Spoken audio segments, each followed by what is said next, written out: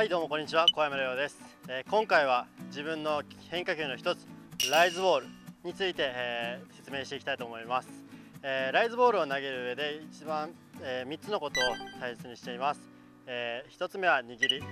2つ目は、えブラッシングの際の手首の動かし方で3つ目が、え体の使い方。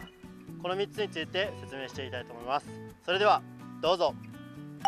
1つ目の握りについて説明していきたいと思います。握り方は前回説明したようにこのような握りになっています。一般的のライズに比べて指幅が狭いって思われた方いると思うんですけどこれは理由があって速いライズを投げたいって思った時に指幅が広いより狭くした方がいいんじゃないかって思ってわざと狭く持っています。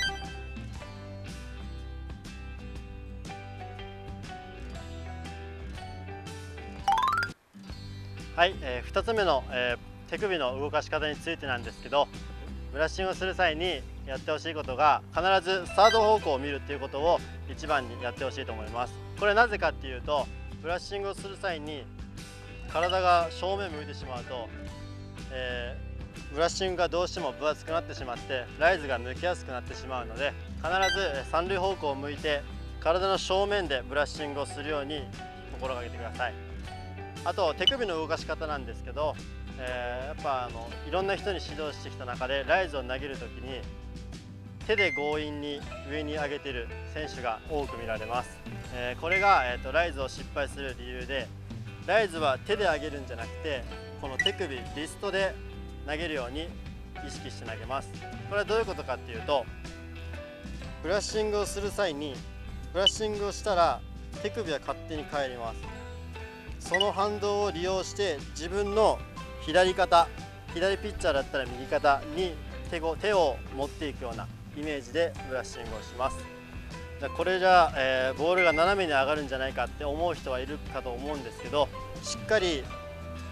手首を使って返すことができればまっすぐボールは上がっていくのでそこの問題はありません。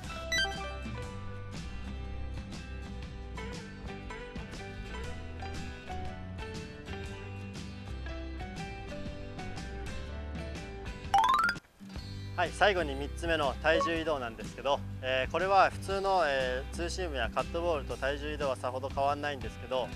えー、ローライ低めのライズを投げるときにやっぱりこの重心を落とした方がいいんじゃないかって思われる方いるんですけどそれは、え間違いでローライでも高めに投げるライズでも体重移動は全て同じにやってください。これなぜかっていうとやっぱり目線が低くしたところで目線がぶれてしまうのでそこでコントロールのミスが起きやすいっていうことと、えー、高低差の調整はリリースのポイントで決まるので、えー、膝を下げても上げても変わんないからです。それでは実際にライズボール投げていきたいと思います。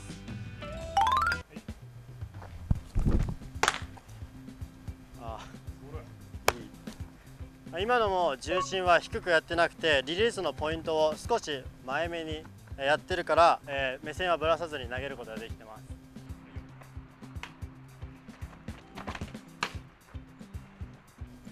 やっぱり投げる際に顎が上がってしまったら高めにいっちゃうので顎はなるべく低く。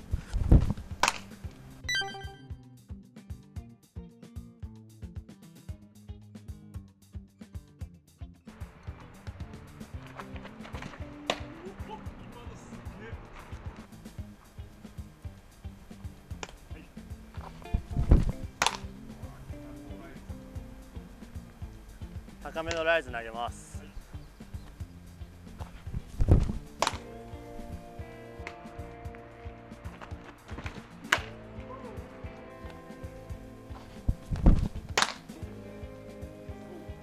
ライズを投げる上でやっぱ高めの釣り球っていうのも必要なんですけど胸元のライズっていうのはやっぱ一番バッター振りたくなっちゃうのでそこに一番投げれるかどうかっていうのが決まってくると思います。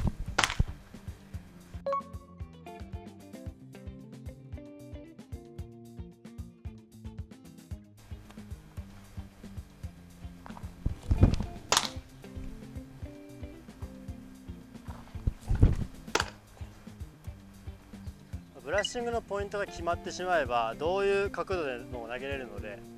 例えばこっちにずれたり投げたりとか自分スライダーを持ってるんですけど、えー、まあ、バッターにスライダーと思わせてライズ投げたりとか、まあ、こういうこともできるので、まあ、ブラッシブラッシングのポイントリリースのポイントっていうのはやっぱり一番重要視して投げてほしいなっていうのはあります。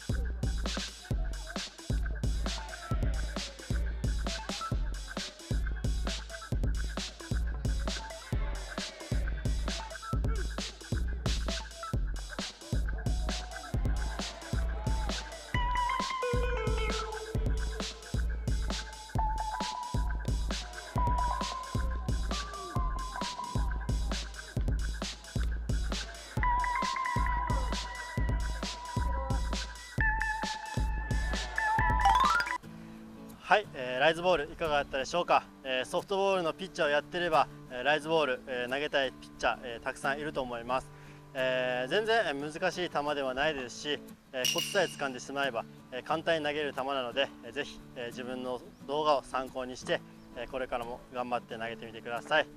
この動画が良かったら高評価チャンネル登録よろしくお願いいたします。それではバイバイ。ヒラキンソフトボール TV ではこれからもソフトボールの教科書となるような動画をどしどし配信していきます。皆さんからのたくさんのいいねお待ちしてます。チャンネル登録よろしくお願いします。Let's enjoy softball